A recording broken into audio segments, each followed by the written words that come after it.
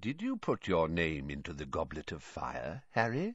Dumbledore asked calmly. Harry! I protest! Harry, you put your name in the goblet of fire. No, sir.